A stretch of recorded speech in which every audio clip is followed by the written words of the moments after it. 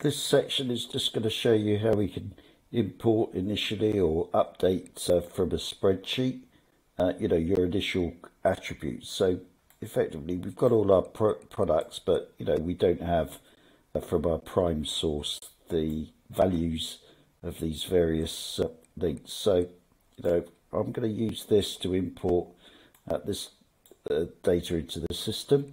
So, you know, I can click into products, uh, you know, make sure that the import button is uh, showing. Uh, so effectively, it's going to take me to the product importer. So what I want to do is, uh, in this instance, you know, browse to the spreadsheet that I'm using.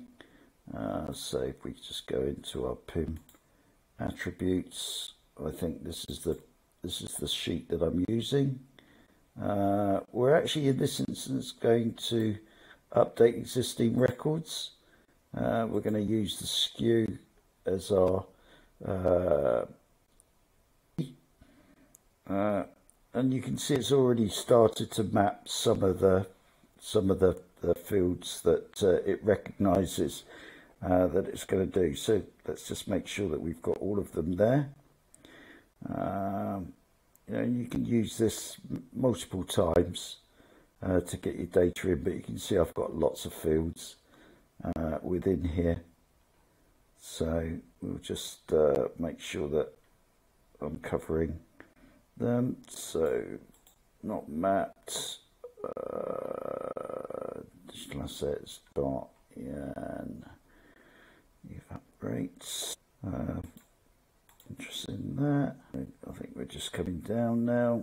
So as you can see, it's just a mapping, mapping exercise. Let's make sure I've got everything here. Product code should be our primary field. Uh, SQL, and we wanted the length, the length, didn't we?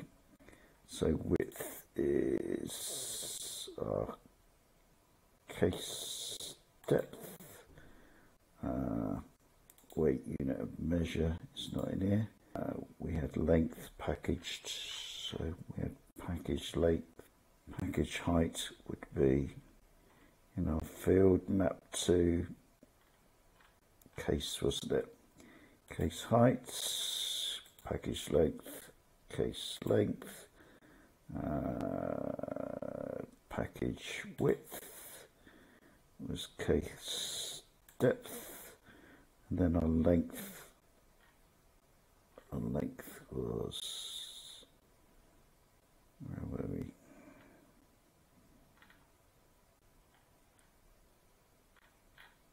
Was height, so we called that unit height and things like that, didn't we? So length was unit height, I think, in in the thing. So unit length, height. So it's just a mapping game, as you can see uh, unit height and I think we just want last one which was width units not case. So unit depth and our packaged ones are all, all mapped. So once we're happy with all this case case case just down to the bottom. Uh, we do yeah everything else should be mapped accordingly so we run normal. We don't want to create pick lists of this. And we'll just submit it. Uh, so we've got an error in the system.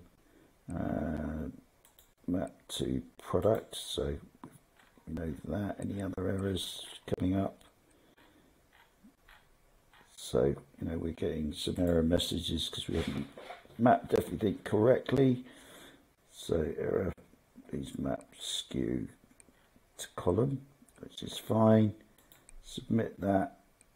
Hopefully I'll press the button. Yeah, your import has been queued. So once it's done its job, so we go back to products, let's see if it's actually done anything yet. You can see that actually we've imported our data. So if I go into one of these,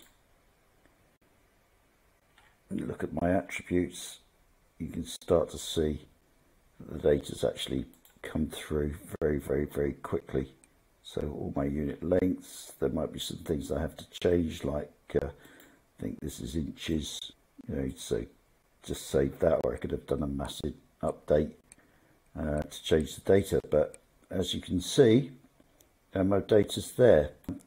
Just so that's how you just use the import uh, facility to update, import, or whatever. Uh, you know, if you want to use uh, uh, from an external Excel spreadsheet, CSV, or, or the equivalent.